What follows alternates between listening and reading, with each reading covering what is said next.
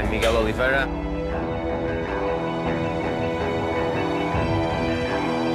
I'm riding for Red Bull KTM Ajo Motorsport.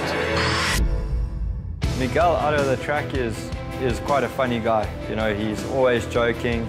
You never know if he's being serious or if he's kidding with you. On track, I think, is the complete opposite of what he is off the track. You know, I feel like he's really, really focused.